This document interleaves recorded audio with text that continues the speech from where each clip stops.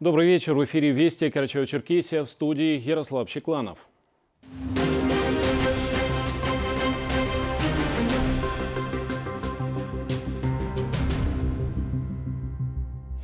Сегодня День энергетика. Работников энергетической отрасли с профессиональным праздником поздравляет глава Карачева-Черкесии Рашид Тимрезов.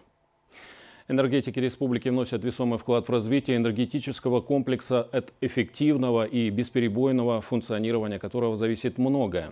За последние годы энергетическая отрасль в нашей республике динамично развивается. Интенсивное развитие энергетики – это и социально-экономическое развитие территорий, инвестиционная привлекательность и повышение уровня комфорта, а значит и качество жизни людей.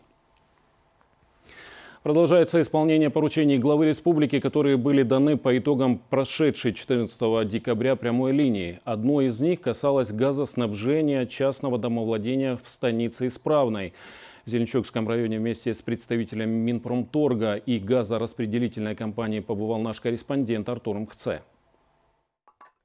Жительница станицы Исправная Нина Михайловна больше 50 лет своей жизни посвятила строительной сфере. Возможно, поэтому научилась все делать для дома своими руками. Да и обстоятельства обязывают не особо рассчитывать на других. Так водоснабжение на улицу Боевую поступает в бочках по 500 рублей за емкость. Установленный во дворе бассейн с насосом позволяет создать некое подобие комфорта. В периоды холодов, правда, забот значительно больше. Из-за финансовых трудностей газификация обошла ее дом стороной, поэтому помещения пока отапливаются с помощью буржуйки. Именно вот этот дом, как я поставила, вот отопляемся только этим. Заявление давала на этот, ну, что-то тянулось, тянулось с этим стояком. Обратилась на прямую линию к нашему президенту нашей республики. Ну, быстренько приехали, сделали, спасибо. Это и есть проект, да. Здесь все указано, э, где будет эта печка, где будет э, газ там, то есть этот котел. Все это уже мне сделано, да, все. После прямой линии с главой республики региональному Минпромторгу было дано поручение проконтролировать сроки выполнения работ по подводу коммуникаций к участку Нины Крамицыной. Согласно договора, свои обязательства в части доведения газопровода до границ земельного участка наша компания должна исполнить не позднее 8 февраля 2023 года. Несмотря на это, как только были завершено проектирование, э, мы приступили к строительно-монтажным работам. На сегодня газопровод ВОД построен. По словам представителя газораспределительной компании, домовладение будет подключено к голубому топливу, как только внутри строения проведут необходимые коммуникации и установят оборудование. До недавнего времени большая часть работ и их финансовое обеспечение ложились на плечи самого собственника. Теперь услуга стала доступной почти каждому. А в чем особенность именно социальной дегазификации? Безусловно, это хорошее подспорье, потому что раньше бесплатно за счет государства строился только межпоселковый газопровод. На сегодняшний день и внутри населенного пункта, и по улицам, вплоть до границы земельного участка, эта работа делается без привлечения денежных средств граждан. Что касается Нины Михайловны, скорость подведения газа к ее домовладению теперь зависит только от самой женщины. На руках уже имеется проектное решение, осталось определиться с подрядчиком и за дело. И тогда ей уже не придется заниматься заготовкой дров впрок. Быть может появится время, чтобы взяться за более доступное водоснабжение. Артур Махцали Бастанов, Вести Карачаев-Черкесия, Зеленчукский район. Отныне главная улица села Дружба, улица 50 лет октября, будет носить имя Кадия Духовного управления мусульман Карачаева-Черкесии Ибрагима Хаджи Качиева. Сегодня исполнилось два года, как не стало известного в республике и за ее пределами имама, наставника тысяч людей. На открытии улицы и арки собрались односельчане Ибрагима Хаджи, представители власти, духовенства, гости из городов и районов. Алла Качева подробнее.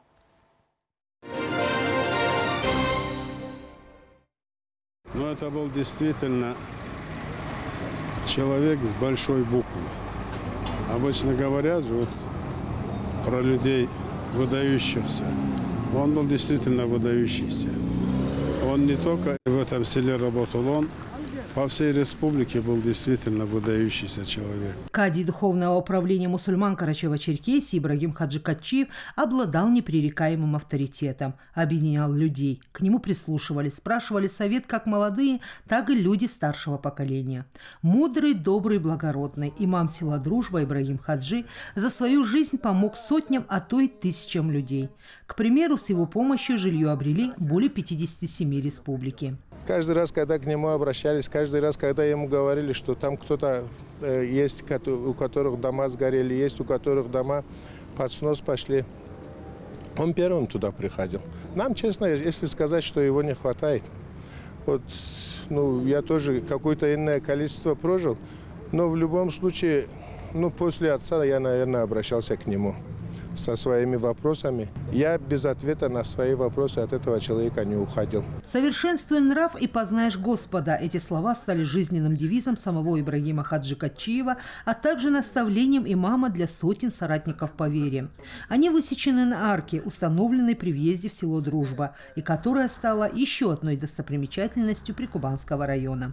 Центральная улица населенного пункта впредь будет носить имя Ибрагима Хаджи Качиева.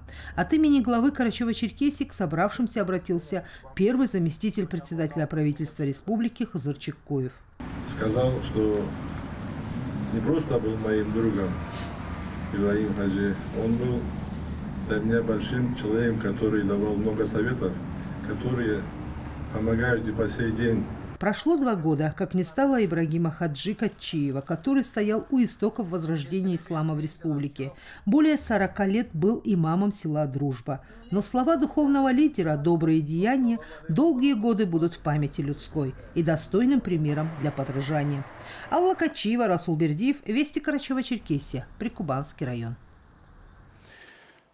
Сейчас прогноз погоды, а после мы продолжим выпуск.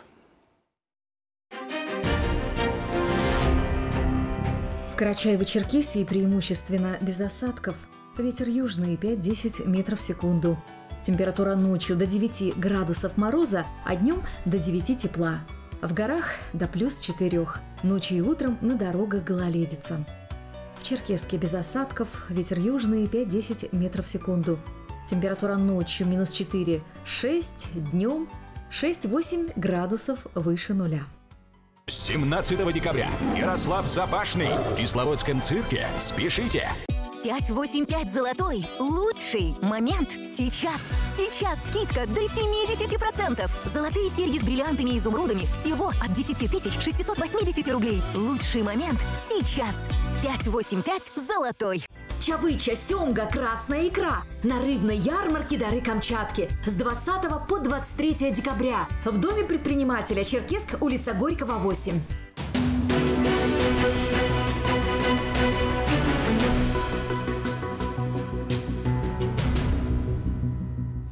Продолжаем выпуск. На базе Центра военно-патриотического воспитания молодежи «Авангард Черкеска» прошел патриотический форум «Кавказ за наших». В рамках мероприятия состоялись состязания по военно-прикладному спорту по семи различным направлениям. В соревнованиях участвовали школьники со всех районов республики. На военно-патриотическом форуме побывал и Алихан Лепшоков. Каждый участник данного состязания приобрел для себя множество полезных навыков и знаний – в рамках военно-патриотического форума «Кавказ за наших» школьники из разных районов республики проявили себя в военном прикладном спорте. Сборка и разборка автомата, снаряжение магазина оружия патронами на время, скоростная стрельба из пневматической винтовки и шахматный турнир «Быстрые шахматы». Поздравляя всех победителей, заместитель председателя правительства Карачаева-Черкесии Дмитрий Бугаев отметил важность подобных соревнований для популяризации этих видов спорта и патриотического воспитания молодежи. Программа центра будет очень насыщенная.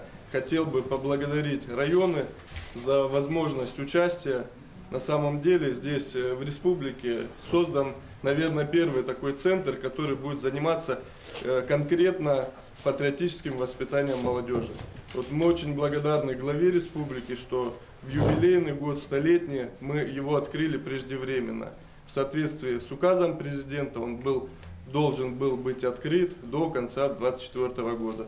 Но по решению главы мы открыли в год столетия. Победителей призеров поздравили, наградили кубками и медалями представителей ДОСААФ, Республиканского военкомата, члены регионального отделения офицеры России. Министр по делам молодежи Карачаева-Черкесии Ибрагим Татаркулов поздравил всех виновников торжества и пожелал им дальнейших успехов. Данное направление, данное учреждение в 2022, 2023, 2024, 2025 будет реализовывать огромное количество социально значимых, важных мероприятий. С огромным удовольствием будем рады вас видеть в каждом из них. Мы с огромным удовольствием будем рады видеть вас в числе курсантов в 2023 году учебно-методического военно-патриотического центра «Авангард». Каждый вид спорта по-своему важен, и мы с особым интересом принимали участие в этих увлекательных соревнованиях, отмечают участники военно-патриотического форума. Ну, не скажу, что было легко, очень достойные даже соперники, нервничали, но как получилось, выиграли первое место. Больше интереса было к автомату, к стрельбе и к магазину. Сборки разборки магазина. В итоге в общем командном зачете первое место заняли учащиеся лицея-интерната из Хабесского района. Также медалями и кубками были отмечены победители по разным направлениям военно-прикладного спорта. Алихан Лепшоков, Расул Бердиев, Вести Карачаева-Черкесия.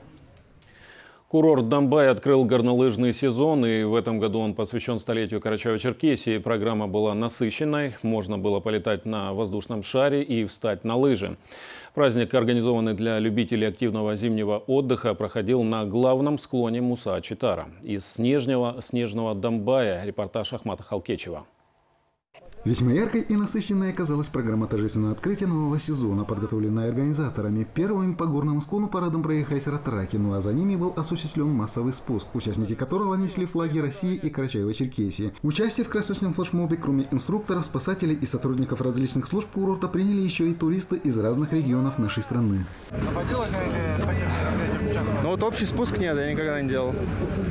Вот именно толпой спуститься, первый опыт такой, да. Да, первый опыт.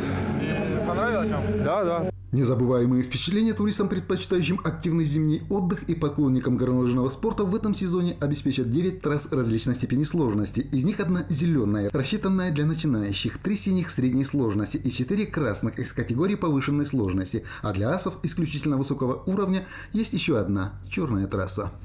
На этот год мы подготовили несколько участков э, таких съездов с трасс удобных для туристов, расширили трассы, по безопасности поработали.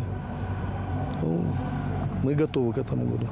По случаю праздника для новичков, кто впервые становится на лыжи или на сноуборд, были организованы бесплатные обучающие мастер-классы. Снег, выпавший весьма кстати, и неописуемые виды главного Кавказского хребта, открывающиеся со склона Муса-Читара, лишний раз убеждали в правильности своего выбора и тех, кто посещает Домбай в первый раз. Впервые здесь удивлены красотой гор.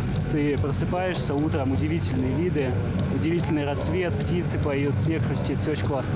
Мы очень рады, что Дубай встретил нас снегом. Мы очень сильно переживали, что его не будет. И это свершилось. Мы когда выезжали, снега вообще не было, и именно день приезда выпало очень много снега, и это максимально здорово. Вот состоялся, все здорово. Открытие сезона совершилось вообще на 100%, очень классно, позитивно. По уже сложившейся традиции последних лет Минтуризм Республики прогнозирует значительный рост туристического потока и в этом сезоне. Ну а наши курорты, в свою очередь, подготовились с учетом всех статистических данных и профессиональных прогнозов. Расширены штаты инструкторского состава, лыжных патрулей и спасательных служб. Стоит отметить, что ежегодно количество туристов в Карачаево-Черкесскую республику растет. В прошлом году это был миллион семьсот сорок девять тысяч человек. Это 21 год. В 22 году будет увеличение количества, ожидается увеличение количества на миллион а, девятьсот тысяч туристов.